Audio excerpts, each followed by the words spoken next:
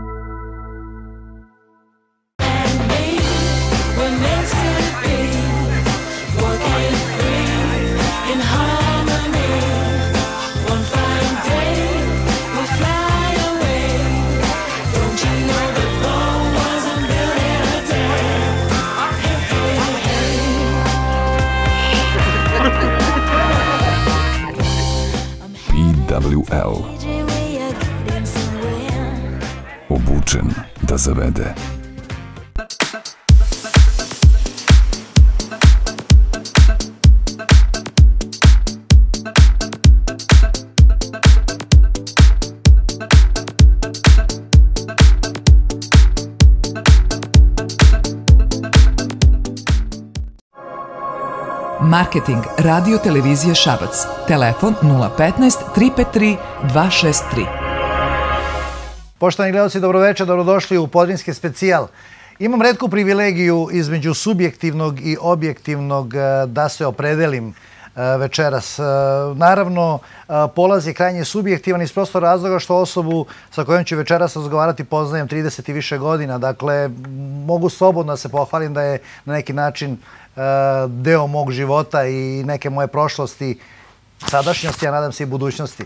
To što se tiče subjektivnog pristupa, ali ono što je objektivno, ta moja dugogodišnja drugarica je jedina i redka osoba iz našeg grada koja je dosegla zvezdane neke visine kada je reč o profesiji kojom se ona bavi. Naravno, to je naša poznata operska pevačica Svetlana Lovčević, inače jedina šapčanka koja ima ozbiljnu i blistavu pozorišnu karijeru, dakle glumica, pevačica, jedna sjajna osoba, osoba koju ja želim vama da predstavim, a naravno kasnim malo u odnosu na Podrinske novine, naime na naslovnoj strani Podrinskih novina je naravno Svetlana Lovčević, osoba koja je obišla planetu za svojim, kako ona sama kaže, sa svojim božijim talentom. Svetlana?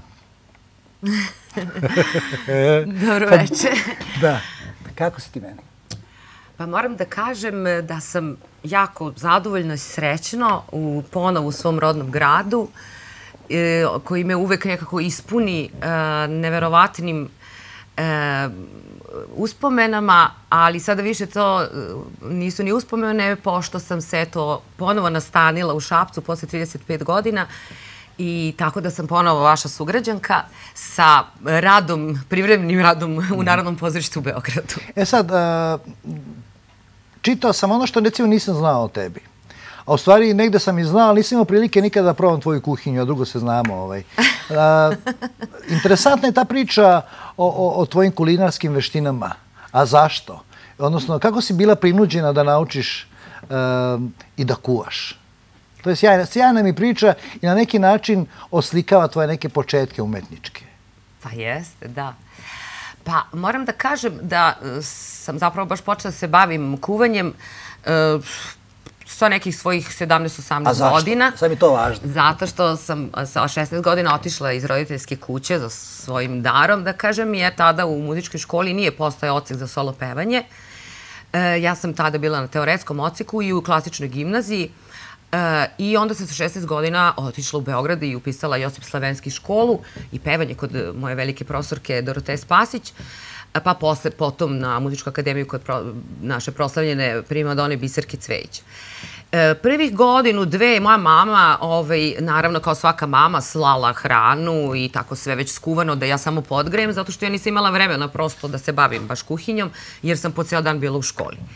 Međutim, ovaj, tamo nekako sam upisala akademiju sa 18, možda malo pre, ja sam prosto počela sama da kuvam, a pošto m, meni, na primjer, ručak nije da pojedem sendvič, nego da nešto konkretno napravim, ja sam naravno počela da kuvam i to naravno zahvaljujući moje majici koja je iznadredna kuvarica, ove, ja sam puno stvari znala, mislim teoretski, ali sam naravno tek sa 17-18 godina počela i to da primenjujem u praksi. Meni je ono zanimljivo to što, eto, sa 16 godina si otišla od kuće, uh, onda je mlad čovek, dakle, često si govorili da ti je naglo prekinuto detinjstvo. Yes. I na kraju krajeva i to detinjstvo ti je bilo određeno uh, jednom surovom disciplinom koja, koju je negde, sećam se i te priče između tebe i mene se ću da zlopotrebim neko, neko moje tvoje prijateljstvo, da, da si govorila kako je to bilo vrlo strogo i ozbiljno kod Branka Đurka Živkovića, ali, ovaj, ali sve kasnije ti to nekako pomoglo da, da, da prebrodiš e, to odvajanje i usamljivanje u odnosu na porodicu. Jeste, jeste. Pa, i, i, mislim, naravno, i što se tiče profesionalnog, mislim,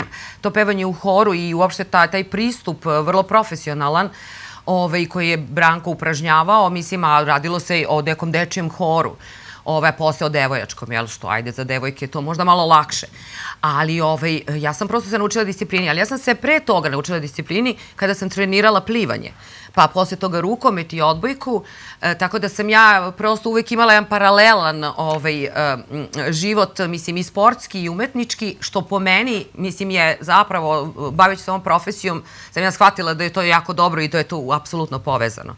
Zato što je ta predanost i ta upornost i taj trening i rad i neodustajanje i kad ti je jako teško i kad misliš da ne možeš više, ovaj, uh, ipak čovek uvek ima snage u sebi koju čak e, i ne može da prepozna ovaj, dok ne dođe u to iskušenje da, ovaj, da mu je to potrebno, to jest da ovaj, upotrebi i te neke rezerve, da kažem. Uh mhm. -huh. Tako da je mene disciplini naučilo, da kažem, sport i naravno pevanje u horu, uh, a posle toga sam samo to, da kažem, uobličavala, jer su posle odgovornosti bile mnogo veće. Kada je reč o odgovornosti, to, to ćemo pričati malo kasnije. A sad hoću van bilo kakve šeme, van bilo kakvih nekih dogovora i o, ustaljenih pravila na televiziji. Sad ćemo kao da napravimo break, pa ćemo mi da a, navučemo temu a, na ono što hoćemo da emitujemo. Ne, ja neću tako da, da radim iz prostog razloga što hoću da posle jednog bizarnog uvoda i razgovora na poznacima navoda, pod znacima navoda, da odmah e, prikažem e, našim gledalcima e, ko je to zapravo Svetlana Lovčević. Pa evo imaš pravo da izabereš jedno od tri snimka koja si donela. Koji će prvi da bude? Ja bih izabrala onaj koji je u stvari hronološki prvi. Mislim u smislu prvi, jedan od Dobro. prvih. To je Arija Rozine iz opere Sevilski i Berberin, Joakina Rosinija. To je u stvari bila moja druga uloga Ovaj, ali prva uloga u, u, kada sam postala solista uh, Srpskog narodnog pozorišta, to je opere Srpskog narodnog pozorišta, 92. godine, tako da je to snimak iz 92. godine. Dakle, idemo na 92. godinu, poštani gledalci, da vidimo uh, Svetlanu Lovčević, dakle, iz 1992. Naravno, nešto malo kasnije ćemo videti i snimke koji su, naravno, relativno skoro snimani. Dakle, izvolite za danas e, iz emisije Kroki. Prijetno i doviđenja.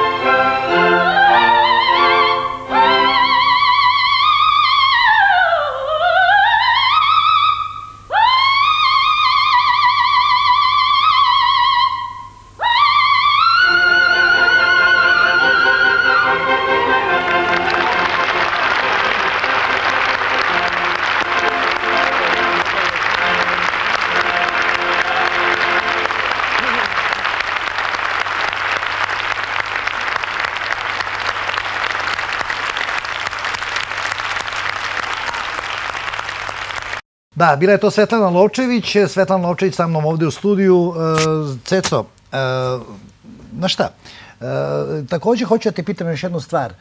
Dakle, taj tvoj mukotrpni put, e, život e, i na kraju krajeva Globetrotter i sa koferom si proputovala ceo svet.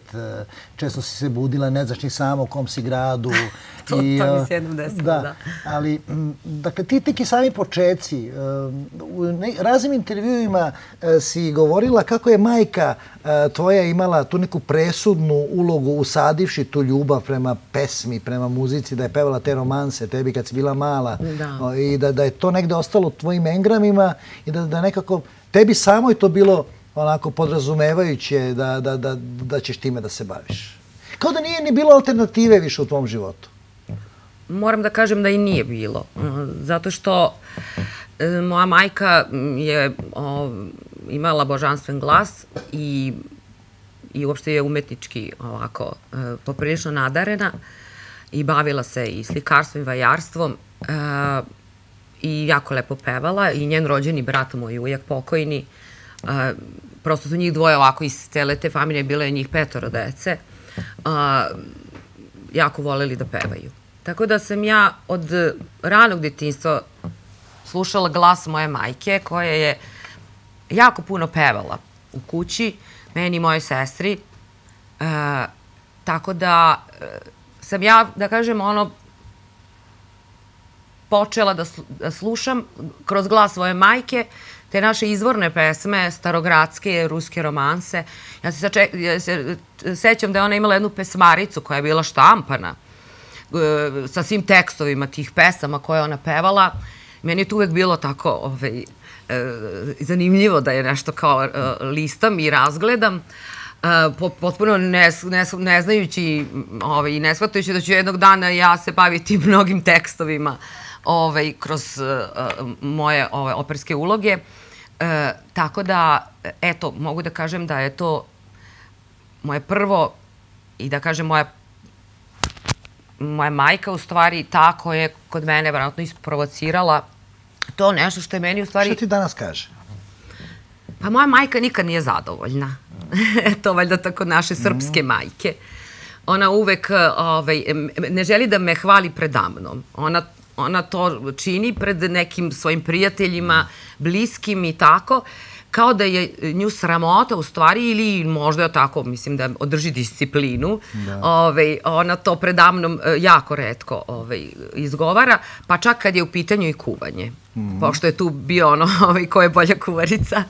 Ovaj, ja joj priznajem da je ona bolja kuvarica, ja samo bih volela da e, prosto onako ona meni poživi još 100 godina pa da se nadmećemo u kuvanju. E sad, e, ono što me e, mnogo interesuje, ta, to je tvoja teza e, koju si takođe sesrno branila, dakle, živeti sa umetnošću u sebi, a ne tražiti sebe u umetnosti. Pa, dakle, pa, mislim, ja sam to kao jako mlada, ovaj, čitajući Stanislavskog, pročitala, ali uopšte nisam shvatala, jer mislim, kad je čovjek mlad, on možda ovako oseti da ima neki talent, pa za tim talentom nešto krene i tako, ali u stvari uopšte ga ne prosvesti, nego tek kad u stvari počne profesionalno, to jest da se obučava uh, profesionalno i kad krene u karijeru, pa počne i profesionalno da se bavi tim svojim uh, uh, talentom, da kažem, re, prezentujući svoj talent, uh, ja sam tek onda u stvari prosvestila šta je, mislim, čuveni Stanislavski rekao. On je podelio umetnike samo na dve kategorije, a to su umetnici koji imaju umetnost u sebi, a oni drugi su koji vide sebe u umetnosti. Ja mislim da je to jako velika razlika. E, ja sam se nekako trudila da, mm, da prosto, ovaj, pošto sam ja stalno osjećala umetnost u sebi, to jest muziku, a muzika nije samo muzika, muzika je još mnogo šta pogotovo u operskoj literaturi, to je i književnost, to je i slikarstvo. E, gluma. Glu, o glumi već da ne pričamo, pogotovo što je i Stanislavski, e, e, radeći puno sa operskim pevačima, on je njih nazivao glumci pevači.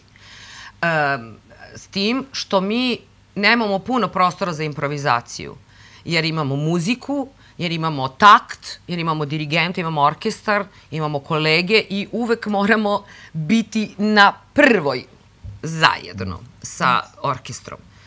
E, tako da nemamo mnogo vremena za improvizaciju ni prostora, e, ali imamo tekst koji izgovaramo, imamo naše emocije, imamo naše unutrašnje, naše unutrašnje doživljavanje tog lika, pored toga što moramo strašno puno da se bavimo vokalnim problemima te i svake uloge. Hoćeš da te opet sad prekinem da vidimo na, kako to izgleda na, na, na, sceni. Dakle, Može, da. idemo... Ovaj, Hoćeš da ti dru- kažeš? Da, kao drugi ovaj, snimak sam ovaj, izdvojila uh, Ariju Toska iz istoimene opere Toska, uh, uh, Pučinijeve i to moram da kažem da je to bila prekretnica u moje karijeri, jer sam tom ulogom u stvari prešla u jedan drugi fah e, da ne kažem dramski fah, e, posle moje specializacije u, u Bukureštu, gde sam provela godinu dana od 98. do 99. godine. E, tako da je to, to je, znači, predstavi Srpskog narodnog pozorišta u Novom Sadu. Ja bih ovaj, pomenula, pošto će se videti moj kolega Miodrag Miša Jovanović, naš eh, prvak eh, Beogradske opere, on je tad pevao kao gost u Novom Sadu, ja sam tada bila još uvek solista Novosadske opere pre prelaska 2001. u Beogradsku operu. Dakle, idemo na insert broj 2, Svetlana Ločević i Toska.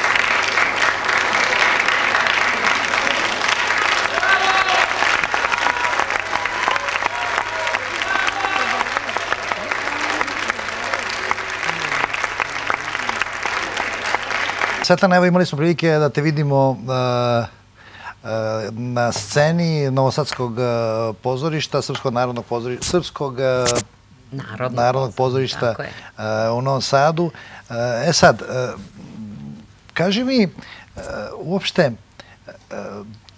glumac, pevač.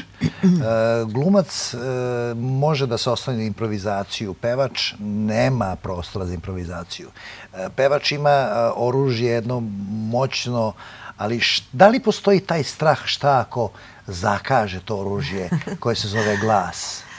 Da, li, da li je to najveća mora svakog operskog pevača i strepnja Da. operskog pevača?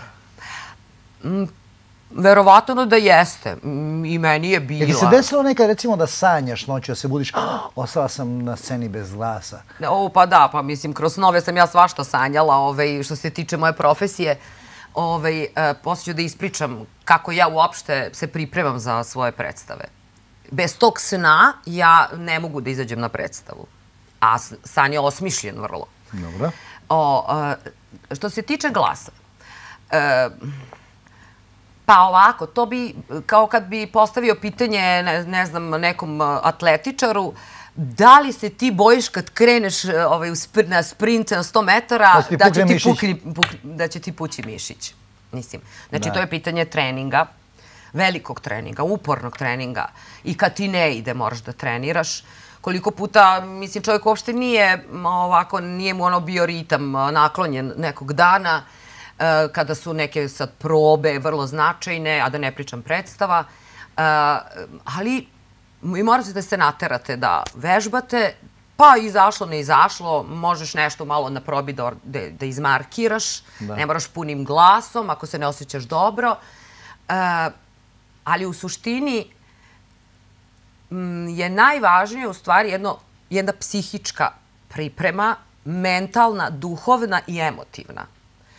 Jer mi kao ljudska bića koja smo svi ispod kože krvavi, bez obzira čime se bavili, bili veliki, mali, srednji, e, amateri, umetnici, e, bilo čime se bavili, mi svi zapravo e, imamo, kako da kažem, razne strahove po raznim pitanjima.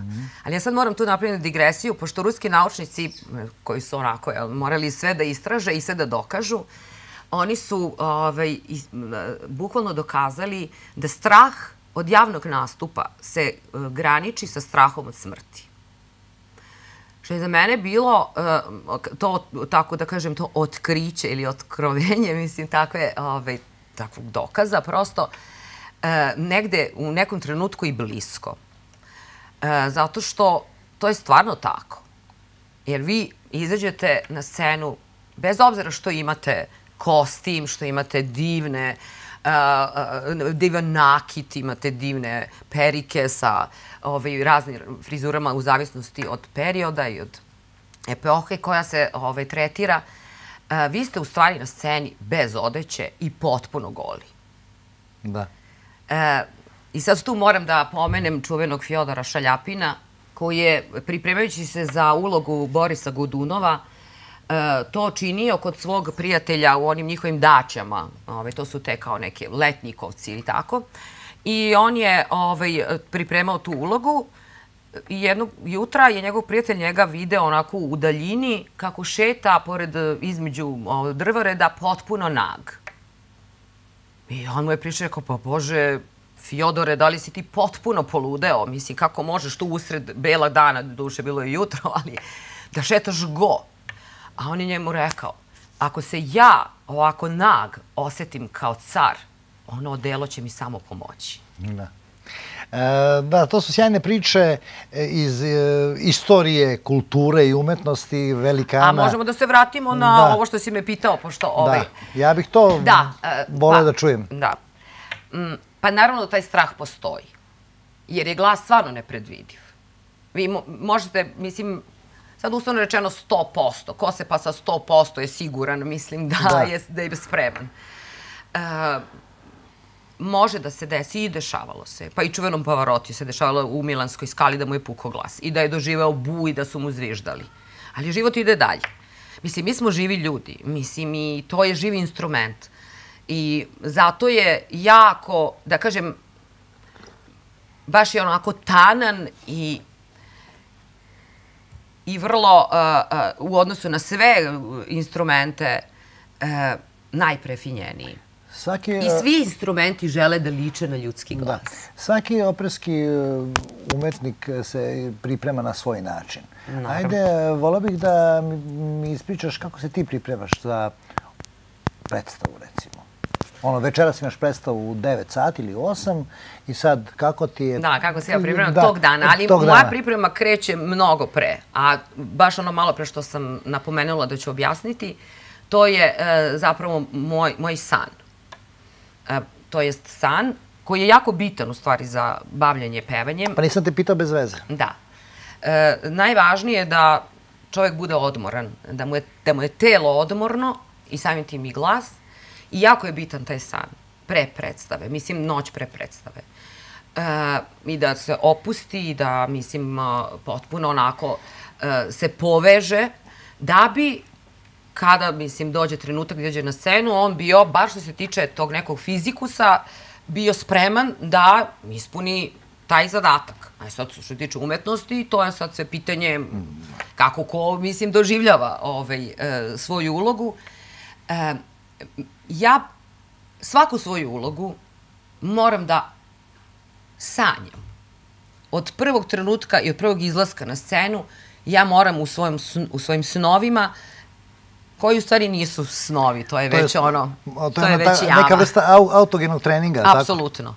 Tako? E, ja sam, na do toga došla. Ja to nisam, nisam kim radila niti me neko to kao obučavao, nego ja sam prosto kroz iskustvo i kroz praksu došla do toga da je meni potrebno da ja bukvalno vizualizujem e, sve ono što, što moram prvo da uradim. Jel, mizansenski i, i bukvalno onako sve, čak i kostim, ja čak i u boji sanjam, tako da ja znam tačno koji mi je kostim, koje boje i tako.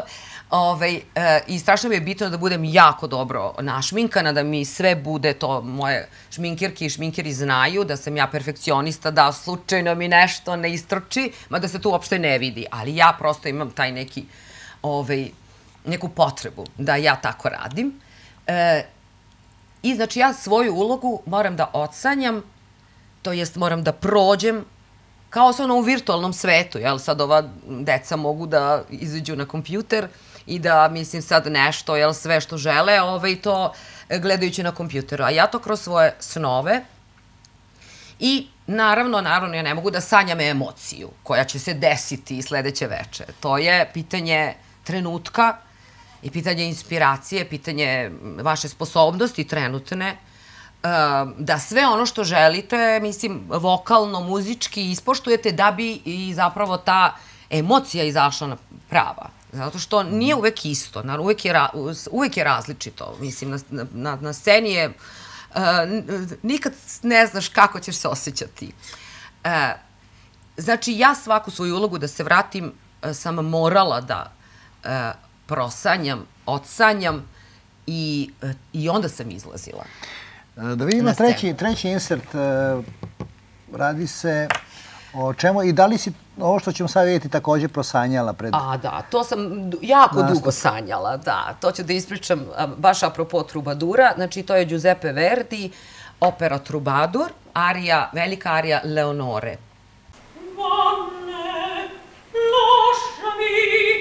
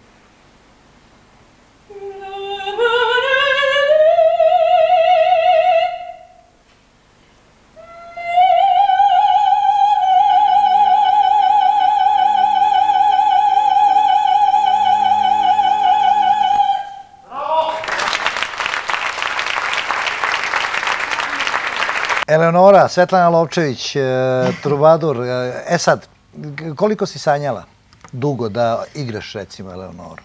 E, pa ovako, ja moram da kažem, ja sam u Bukureštu... Da li je to, da li je to san svake mlade pevačice, mladog umetnika da jednog dana bude Eleonora ili... Ili Toska. Ili Toska. E, ili Madame, Madame Butterfly. Madame Butterfly ili Desdemona u Da. hotelu, da. E, ja mislim da jeste. Sad, naravno, mora- morate da imate i glas za to. Mislim, ovaj, prosto mislim da, da imate glas koji može da ispuni sve vokalne uh, zadatke i potrebe to, te uloge. To je svake uloge od, od ovih napomenutih. A, pa, kako da kažem, ja, na primjer, što se tiče te Leonore u Trubaduru, tu ima jedna priča, ja sam nju počela da radim još u Bukureštu, znači 98. godine, 99. I sad, pošto sam ja kao mlada e, bila e, koloraturni sopran, znači, kad sam došla kod profesorke Cvejić, ja sam imala raspon e, skoro pet oktava, ona je bila potpuno u šoku, mislim, šta će sad sa mnom da radi, koji sam ja glas u stvari, pošto sam imala te ekstremne visine, onda ona mene, naravno, stavila u taj fah, da pevam koloraturni fah, e, e, repertoar, što znači to su vam one visoki oni tonovi, što mi kažemo, one ptiči registar, To je, na primjer, Rozina iz Seviljskog Berberina, Kraljica noći iz Čarobne frule, pa onda ona deonica iz Karmine Burane, e, Đilde u Rigoletu, e, zatim ima tu mnogo, mnogo uloga. E, Semiramide iz Rosinjeve opere Semiramida, koju sam ja puno pevala. A, e, tako, dok sam bila mlada i dok nisam prosto sazrela i prešla u jedan drugi fak i drugi i glas mi se razvio. E, sada se vratim da, ovaj, e, na Trubadur. E, kada sam e, počela da radim sa mojom divnom profesorkom, e, velikom primadonom e, rumunskom, koja je na svim velikim scenama pevala, ona je baš bila dramski sopran i nju su zvali druga Renata Tebaldi, pošto je imala božanstven glas, e, božanstvenu boju glasa. E, e, ona je meni, mi smo to radile godinu dana, vredno, tu ulogu i onda je ona meni rekla, ali ja te molim da kada se vratiš u Srbiju, da ti prva uloga ne bude trubadur, nego pevaj tosku. Ja sam pitala profesorka zašto vi sad to meni predlažete. Ona je rekla, pa zato što trubadur je vrlo sličan ovom fahu koji si ti pevala, a nije isti. Pa da ti se ne bi desilo kad izađeš na scenu ili kad krenu te pripreme, da ti se vraća ono, da kažem, da ti se vraća to što si ti nekada pevala, a sada to baš nije tako. E, prosto otpeve jednu ulogu koja je sva u legatu, koja ima te velike ispevane fraze, a onda posle neka ti druga uloga bude trubadur, jer tu ima i tih e, kabaleta e, koje su vrlo slične tim nekim e, virtuoznostima Rosinijevim i vrlo je e, delikatna ta uloga, zato što glas mora da bude jako pokretljiv, da tretira jako veliki raspon, a pritom da ima jednu boju pravu, onu dramsku. e, tako da ja sad, ovaj, kažem, vraćam se na tu moju profesorku Slatinaru, koja, od koje sam ja strašno puno naučila i koja je meni potpuno promenila odnos prema profesiji, odnos prema muzici, odnos prema profesionalizmu, a, jer Rumuni stvarno imaju veliku tradiciju e, e, u operskom penju i uopšte, i umetnosti, i književnosti i tako, što sam ja tek saznala kad sam tamo otišla. Mi imamo pogrešno mišljenje o Rumunima. Tako da, kada sam zapravo radila Trubadur, e, faktički sam ga pevala iz trećeg puta. Zašto? Znači, na pripremama prvi put sam dobila alergiju polensku i nisam mogla da pevam predstavu. Drugi put, e, nešto se desilo, nešto je bilo nekog odlaganja i tako, pa opet se to nešto prolongiralo. Kao da ti i se nije dalo, sam, jel? Nije mi se dalo, ali treći put sam ovaj, uspela da kažem da ovaj, ipak se desi ta predstava, prva. E, znači, ja sam takvu tremu imala tog dana da ja nikada u životu nisam imala takvu tremu. I ne to znam šta se bilo, desilo. jel? To je bilo u Narodnom pozorištu. E, e, tako da ja to uopšte ne mogu da objasnim. Ja nisam mogla da sedim uopšte od, e, od tog nekog, e, ja ne znam, da li od prevelike odgovornosti, od prevelikog očekivanja, e, možda od te misli da eto, možda će mi se vratiti taj neki moj ovaj način pevanja iz mladosti. Ja ne znam šta se desilo. Ali kada je počela predstava i kada sam izašla na scenu, još sam imala i, ovaj, nažalost, i taj peh da e, su ovi naši tehničari strašno puno dima na, u, ubacili na scenu, zato što je prethodna scena sa nekim vojnicima i tim ovaj, basom, tako da a ja posle toga odmah krećem, samo se okrene rotacije i odmah krećem, znači taj sav dim je onako otišao gore, e, e, na, bukvalno na vrh stepenica s kojim sam ja silazila. Tako da, mislim, ja sam ono iz onog dima onako izašla i bukvalno morala da pevam jednu od najtežih arija, pošto je ovaj, ta druga scena, mislim, u Trubadoru odmah zapravo ta uh, prva arija Leonore, ovaj, posle onda sledi tercet i tako, onda sam se ja već opustila, ali kažem, kad sam izašla na scenu i kad je to krenulo, ja sam rekla, pa sad, kako bude, biće. Mislim. E sad, uh, Svetlana, uh, devojčica u Šapcu sa 14 15 godina, 13, osnovna škola, uh, zaljubljena u pevanje, član hora. Dakle, I sad danas prvakinja Beogradske opere sa... Velik, dug put. Da, dug put. Da li nekada, ono, pretpostavljam da da, kada sedneš sama negde u svoj neki kutak, jer kažeš, Bože, uspela sam, a zašto te to pitam? Zato što znam da a, mnogi šapčanke su studirale isto što i ti. Da, da. I one su sad profesorke, ok, ali da, da. niko od njih nije imao tu karijeru a, i niko nije omirisao zaista scenu, operu. Da, da. A, to je samo tebi pošlo za rukom. Pričam sad o, o to nekoj maloj sredini, nekoj yes. devojčici koja je, eto, pevala po celom svetu, radila sa najvećim svetskim umetnicima, zaboravio sam da ti kažem i Biserka Cvejić, naravno, to ti je, da ne, to ti je mama. U, da, da, ona ovaj, u svakom smislu, mislim, ona je... Operska, da, tvoja majka jeste, i tako dalje, da.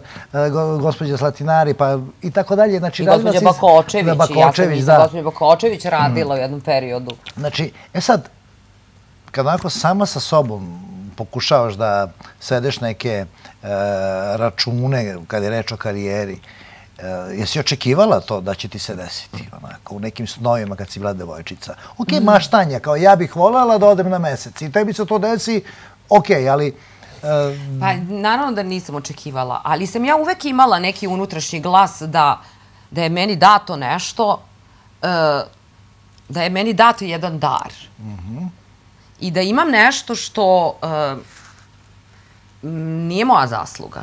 Ja sam to prosto dobila Božiji dar, mislim. Ali to nije jedan dar, to je uvek malo, kako da kažem, to je uvek više darova. E, koji se sublimiraju u taj jedan, to je glas. Jer ja sam, baveći se muzikom, znači prvo svirala klavir, e, ovaj, e, posle sam i teo, teoretski ocek, mislim, završila. E, ali ja sam znala da da, da ja ne želim da budem teoretičar muzike, ne želim da se bavim pijanizmom. Iako sam bila vrlo spretna, uh, meni je uvek glas bio taj koji me nekako... Ali ovaj, i glumica u duši, jel?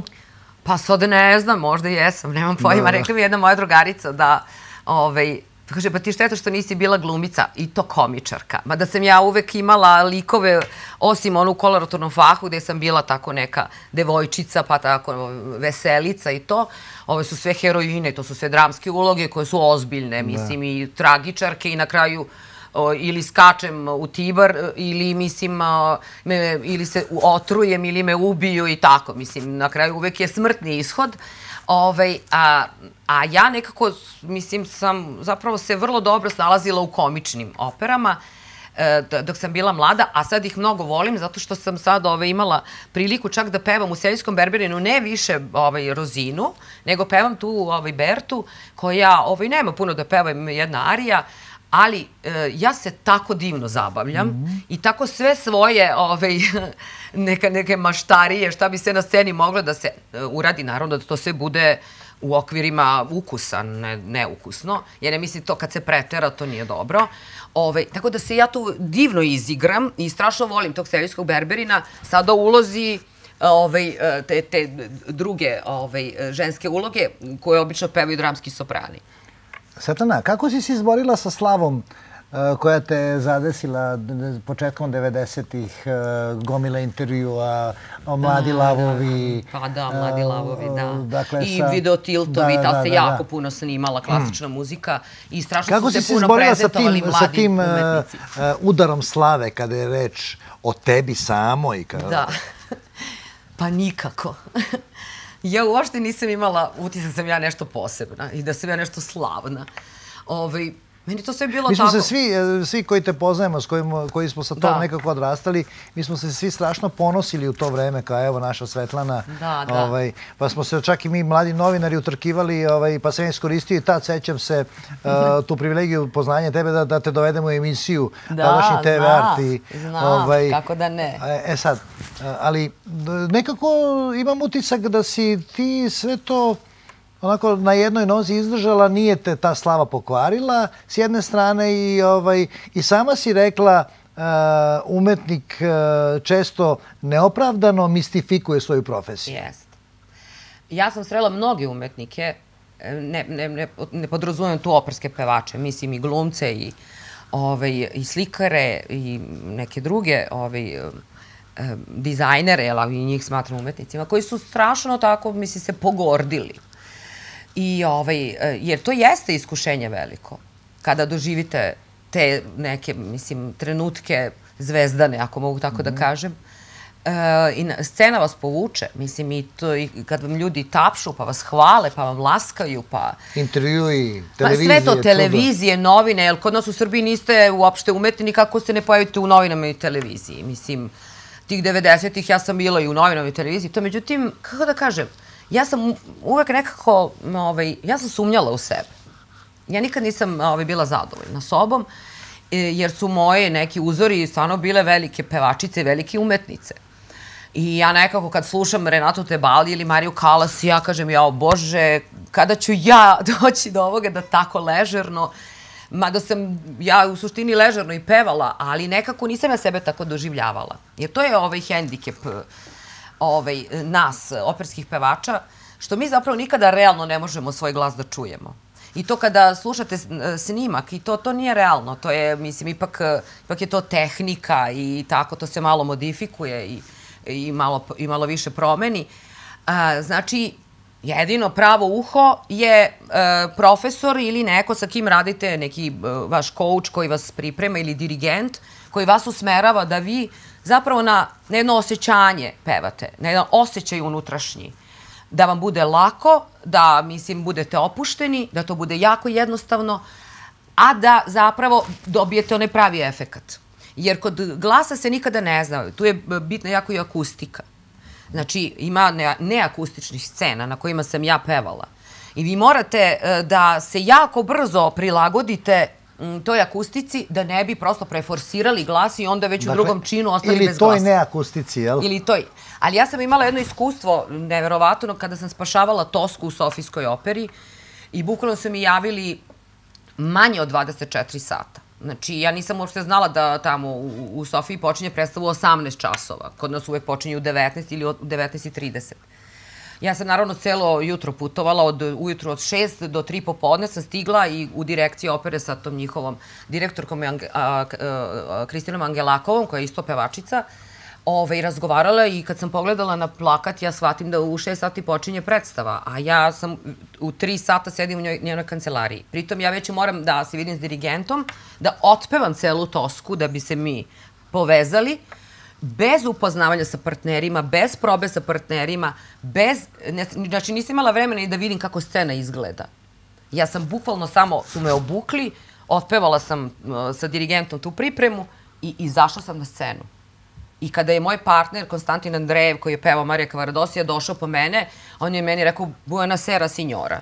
I on izveo me na scenu. Mislim, eto, toliko. I mi nismo imali vremena, možda se dogovorimo ništa. E, scena je bila po libretu klasično, klasična je bila režija, ovaj, tako da sam ja se bukvalno snašla. Ali nisam ni akustiku, ma ništa, ništa, ništa, ništa. Nego sam onako uletela i krenula. Ali e, bez rizika e, umetnik... Pa ne, rizik je u svakom slučaju. Znači svaki umetnik mora da, da, da ima Pa jeste, tu, to je, to je strašno tu veliko dozu iskustvo. hazarderstva. Jeste. Jer bez toga čini se i nema velikog nekog uspeha. Ne, ne. Mislim, e, e, to jeste veliki izazov. Kao kad sam bila mlada sam pevala u jednom danu dve predstave. Pre podne direktor pozorišta e, Mozartovu operu u Narodnom pozorištu u Beogradu i onda sednem u autobus, moram da naglasim, a ne kao primadone na svetu da ih čekaju kola pa da ih dovezu i tako. E, Putujem u Novi Sad gde uveče imam seljskog berberina i otpevam predstavu i onda trčim na poslednji autobus u 10 do 10. Ali Šapčani nisu imali sreće da te do 2002. godine vide e, u, u na solističkom koncertu. Da. 2002. godine su Šapčani imali tu privilegiju. No dobro, to je bilo 2002. godine. E sada bih ja da pričam o tome da će Šapčani ponovo Svetlanu Lovčević moći da vide ove 2017. godine. E sad ti kaži gde. Hajde da najavimo to, Da. to tvoje veče. E, Da. E, Pa to će biti moje veče i veče moje najbolje prijateljice i koleginice s kojom sam ja puno pevala. Prvakinje Beogradske opere meco soprana Nataša Jović-Trivić i našeg dragog pijaniste Milivoja koji, će, koji je profesor na Fakultetu muzičke umetnosti, koji će nas pratiti. Ovaj, to je povodom znači, dana posvećenih Stanislavu Vinaveru. Koncert će biti u a, sinagogi koja je sada u obnavljanju, mislim u restauraciji. o, fenomenalno izgleda. Fenomenalno izgleda. Znači oni će osposobiti salu da se održi koncert. Ali to će biti sa sala, ja sam bio tu, Da. ovaj, e, to je jedna kamerna scena, A to jeste kamerna prostor, scena i ovo je kamerni koncert. A će biti otimačina za tih 50-ak, 60 Pa karata. sad ja to ne znam. Će biti baš redka privilegija, kao ko će Jeste, biti a pogotovo tu. što će u repertoaru biti ruska muzika i to fantastičnih e, i velikih kompozitora Rahmanjina, Čajkovskog, Glinke, Musorskog i još neki par romansi koje ćemo eto tako darivati i darovati publici koja bude došla. A kog je to datuma? E sad ovako, znači e, 15. ili 16. juna. Znači sad to moramo, ovaj, ali ja pretpostavljam će biti 16. juna, jer je sad u pitanju još i neka izložba.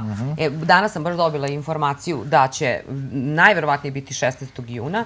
ovaj, e, u svakom slučaju, ja mislim da ti dani onako traju, valjda dva, tri dana, pa Koliko imaš slobodnog vremena? Pa ja sad u principu i, i imam slobodno vremena, a i nemam, zato što ja to slobodno vreme organizujem da, da mi ne bude slobodno, nego da imam neke aktivnosti, kao na primjer vožnja biciklom, plivanje i tako. I druženje sa mojim prijateljima, koje neke nisam čak vidjela po 35 godina. Ceco, poznajem te jako dugo i jednu, jednu tvoju e, osobinu e, sam prepoznao skoro, dakle, e, deo tvoje ličnosti. Naravno, moram priznati da sam se negde pozitivno iznenadio iz prostog razloga što sam, družeći se s tobom proteklih nekoliko dana, prepoznao tu crtu religioznosti u tebi, mada ti ne deluješ tako na na prvu loptu i nikada, mi, ni- nikada u stvari o tebi nisam na taj način razmišljao. Ali onda sam provalio da si ti strašno zahvalna, a, kako si rekla, drago me gospodu što imaš takav talenat, pa red je da, da, da kroz tu zahvalnost na neki način i pokažeš i da vratiš a, to, to milosrđe Božije koje ti je dato na svaki mogući način. Dakle, to me onako iznenadilo, onako pozitivno.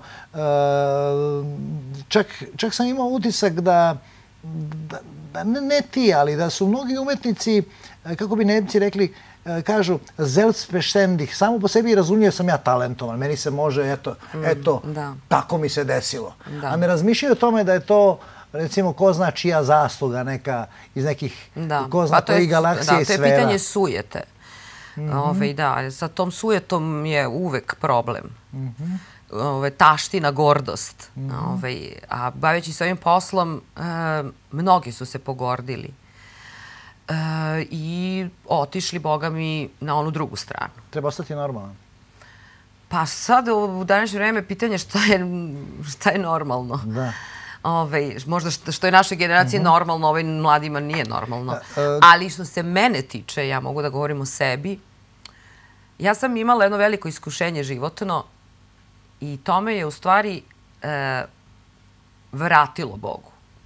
Moram da kažem. Ja sam od malena, mene moja baka, tatina mama vodila u crkvu kao malu i sećam se ono za Svetog Savu smo svi deklamovali u crkvi i to tako, mislim, razne te pesmice. Ali to ništa nije bilo objašnjeno. Sve je bilo običajno. Znači, nije bilo suštine, nije bilo... Ja sam bila jako radoznalo dete, uvek sam pitala zašto se to mora tako ili ovako. Meni uvek e pa to tako mora. Mm -hmm. To tako treba. Mm -hmm. e, I zapravo sam ja morala nekako, lupajući se o Scile i Haribde, Lorelai, da, da, da, da. da uh, m, zapravo da, da, da nađem način da spoznam suštinu. Da dođem do suštine uopšte našeg bitisanja i uopšte zašto nam je dat ovaj život i zašto mi svi imamo darove. Jer svi, i otac tada i kaže da, stara tada i kaže da svi ljudi imaju darove. Da su svi dobili neki dar. Samo treba da spoznaju taj dar. I treba ga posle negovati I treba, i razvijati. I treba raditi puno i puno se truditi. To je poruka uh, uh, ove emisije. Uh, ja ću da ti se zahvalim puno, došli smo samo kraja. Ali, uh, Ali ja, izvini samo što sam, ono najvažnije, uh, najvažnije je ljubav u stvari. Naravno. Jer sve, jer Bog je ljubav i sve kroz ljubav i radost uh, čovek može sve. I ne sme nikada da odustane. Ne sme da odustane od sebe, od svojih darova, od svojih prijatelja, od njemu bliskih ljudi, od svoje, svojih roditelja. Ja sam izgubila roditelja, mog dragog oca, koji, m, pored toga što je, mislim, ostavio i materijalno, m, svom troje dece je napisao po pesmu. Ja mislim da su redkija deca koja su od svojih roditelja dobila pesmu. Mm -hmm. Moj otac je i mojoj sestri Tatjani i mom bratu Dragutinu e, i meni ostavio svakome po pesmu. Mm -hmm. I to nije mi nikada dao, to je moja majka posle njegove smrti nama dala. Mm -hmm. I to je onda meni bilo još uh, onako, da, da. Jer je on isto jedna tanana duša, sportista. Da. E, hteo sam da razbijemo stereotipe o... Malo se priča o ozbiljnoj muzici, malo se priča o klasici, ne samo kada je reč o muzici, nego i književnosti. E, preplavljeni smo tim pink televizijama, reality programima i stvarno podrijske specijal su želele da e, pokažu u razgovoru sa tobom da postoje neka druga razmišljanja i da postoje neki drugi ljudi koji trebaju da, da budu uzor generacijama koje dolaze. Zaista, Svetlana, mislim da si ti jedna od tih osoba koje trebaju da budu uzor klincima i devojkama, um, budućim umetnicima i ljudima koji treba da se izbore za prave estetske vrednosti. Zbog toga sam počastovan, bez obzira što sam subjektivna prema tebi, ali ovo govorim krajnje objektivno. Hvala ti najlepše na ovim rečima. Ja bih samo poručila, pošto se ja između ostalog bavim pedagoškim radom već 15 godina, da ima mnogo mladih talentovanih ljudi, mladi ove dece koja... Mm -hmm.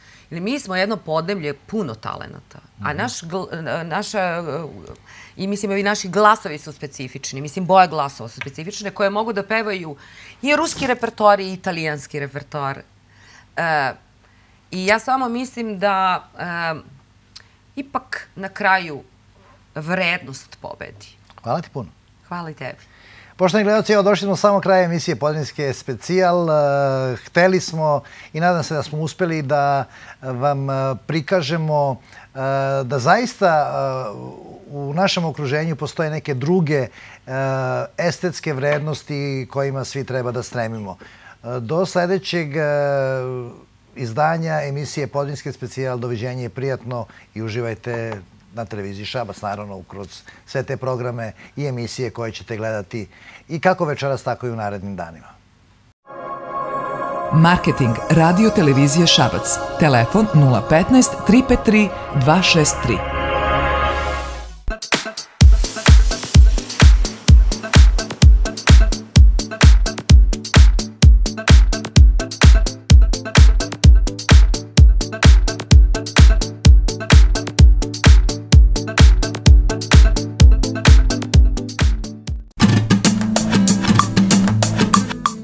PVL Vision, oftalmološki centar sa najsavremenijom opremom i visoko stručnim kadrovima, može vam pružiti biomikroskopski pregled, merenje očnog pritiska i pregled očnog dna, kompjuterizovano određivanje dioptrije, kompjuterizovano vidno polje za diagnostiku i praćenje glukoma, bolesti retine i neurološke bolesti, uklanjanje stranog tela iz oka, izrada dioptrijskih naočara, kontaktna sočiva sa svim vrstama dioptrijskih i kozmetskih kolornih sočiva, vrhunski kvalitetne sunčane naočare.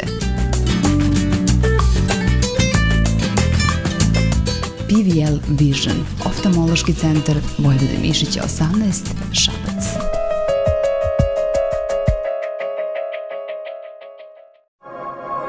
Marketing Radio Televizije Šabac. Telefon 015 353 263.